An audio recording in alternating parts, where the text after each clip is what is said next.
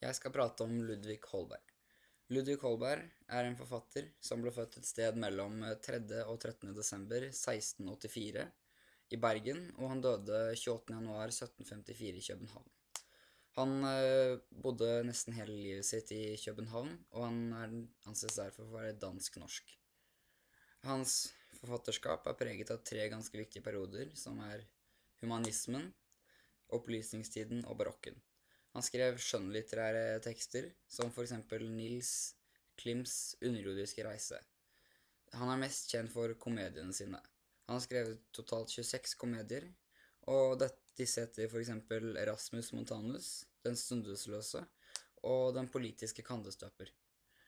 Uh, verkene hans har blitt skrevet om til mange europeiske språk. Han eh, studerte først ved Katedralskolen i Bergen, deretter i København i flere omganger pga. pengetrøbbel, og så ved Oxford i England, hvor han, seg, hvor han også bestemte seg for å bli forfatter.